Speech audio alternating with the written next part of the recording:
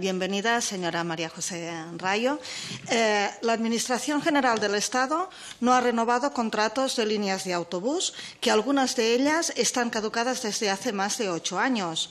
La caducidad de estas concesiones impacta en el servicio ofrecido al pasajero. Según un estudio de la Universidad de, Barcelona para una revista científica norteamericana, se constata que en el Estado español los precios de las líneas interregionales son entre un 12 y un 36% más caros que los de Alemania, Francia, Italia, Reino Unido o Suecia unos precios que pagan mayoritariamente las clases más desfavorecidas, que son las que viajan en autobús.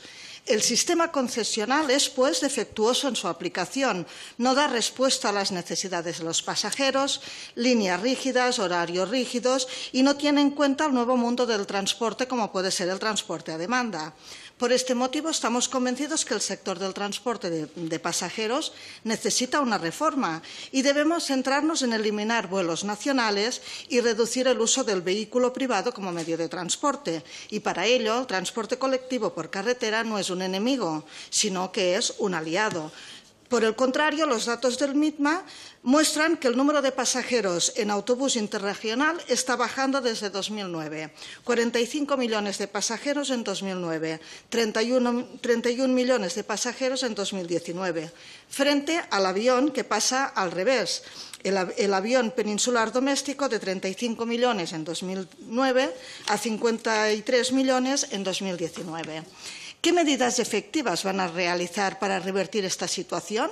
Estas medidas serán para toda la ciudadanía, porque el Gobierno ha introducido ahora, por ejemplo, la gratuidad del transporte ferroviario, cosa que nosotros apoyamos. Pero esta política no es la solución a todas las necesidades de movilidad de la ciudadanía, principalmente la de las zonas rurales, que son las que sufren un déficit de inversión históricamente mayor por parte del Estado español.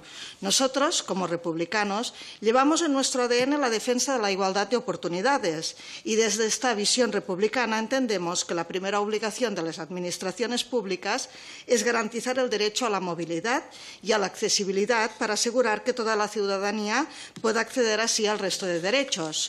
Por ello, la Administración pública tiene que actuar analizando globalmente la rentabilidad social, no guiándose únicamente por la rentabilidad económica. Debe introducir criterios de rentabilidad social, equidad territorial y accesibilidad universal a los servicios regulares de transporte por carretera. Solamente así garantizamos que la rentabilidad económica no sea el principal motivo para el diseño de este nuevo mapa de movilidad con la futura ley de movilidad sostenible, que déjeme que le pida que no sea ya más futura, van a evitar esta discriminación en el derecho a la movilidad y accesibilidad de las zonas rurales?